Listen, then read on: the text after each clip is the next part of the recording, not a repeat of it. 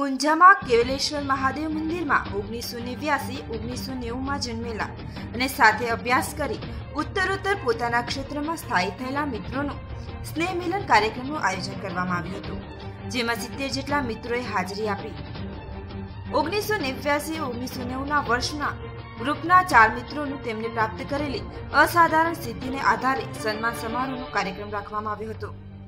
જેમાં સન્માનિત ચાર મિત્રોની યાદીમાં ઊંઝાના પૂર્વ ધારાસભ્ય નારાયણ કાકાના પૌત્ર સુપ્રીત ગૌરંગભાઈ પટેલ કે જેઓને તાજેતરમાં જ ભારતીય જનતા પાર્ટી યુવા મોરચાની રાષ્ટ્રીય કારોબારી સમિતિના કારોબારી સદસ્યનું કમાન સોંપવામાં આવ્યું છે. તે ઉપરાંત ભારતીય જનતા પાર્ટીના સેવા અને સમર્પણ અંતર્ગત જમ્મુ કાશ્મીરના સહપ્રભારી તરીકે નિમણૂક કરવામાં આવી છે. આ અંતર્ગત તેમનું પુષ્પ અને મા ઉમિયાની છબી આપી સન્માન કરવામાં આવ્યું. ડોક્ટર ધ્રુવ પટેલ કે જેઓ હાલ પાટણ ખાતે જનતા હોસ્પિટલમાં ન્યુરોસર્જન તરીકે સેવા આપી રહ્યા છે. તેમનું પણ સન્માન કરવામાં આવ્યું હતું.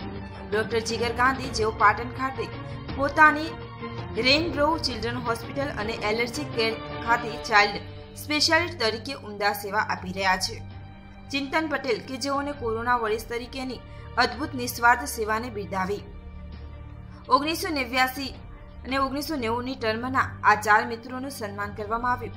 સ્નેહ મિલનના અંતમાં સૌ મિત્રોએ ભવિષ્યમાં આ જ રીતે જરૂરિયાતમંદોને વધુમાં વધુ મદદરૂપ કઈ રીતે બની શકાય એનું નક્કર આયોજન કરવામાં આવ્યું હતું.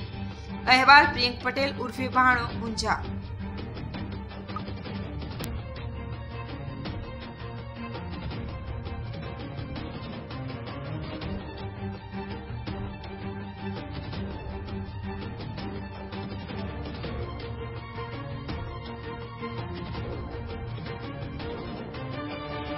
ને લેવા માટે એમના સગા બી દૂર ભાગતા હોય. બિલકુલ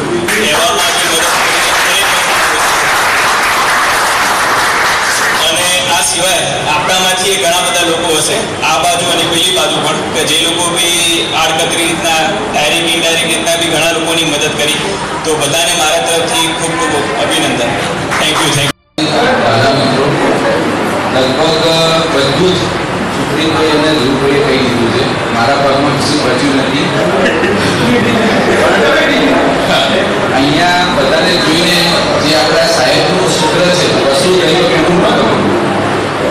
એ થઈ ગયું છે. સ્કૂલની એક જ પાર્ટી પર બેસવાવાળા છોકરાઓ અત્યારે અલગ અલગ ફિલ્ડમાં પોતપોતાની અવલ કક્ષા પર પહોંચી ગયેલા છે. અને મને જમ્મુ અને કાશ્મીરની સહપ્રભારીની જવાબદારી સોંપવામાં આવી. જમ્મુ કાશ્મીરની વાત કરીએ તો સરદાર વલ્લભભાઈ પટેલે પાંચસો બાસઠ રજવાડાને ભેગા કરી અખંડ ભારત ભેગું કર્યું. અને આજે આપણે અખંડ ભારતના નકશા સાથે આપણે આગળ વધ્યા છીએ અને આપણો વિકાસ કર્યો.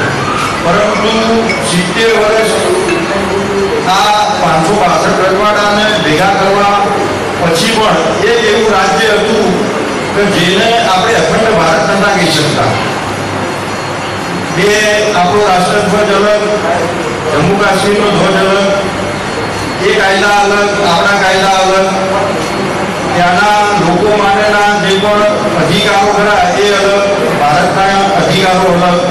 આ બધા અધિકારોનો ડિફરન્સ હોવાને કારણે એક અખંડ ભારતમાં ક્યાંક ખામી હોય એવું લાગતું.